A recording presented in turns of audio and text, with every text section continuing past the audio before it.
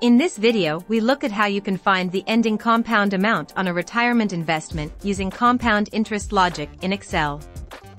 Suppose I have $15,000 to deposit into a retirement account that pays interest compounded semi-annually. I plan to grow the funds for 25 years and yield an interest of 6%. There is an easy solution to find future value after compounding interest using the future value function. The present value is a negative cash flow and should be recognized as a negative. Since the interest is compounded twice a year, interest is compounded at 3% for each period. Periods will be doubled to 50. Now I can enter the future value function and use each value as a cell reference.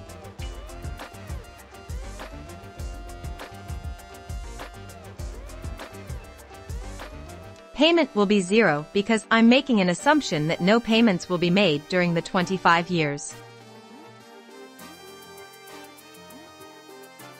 The compounded amount is about $65,759.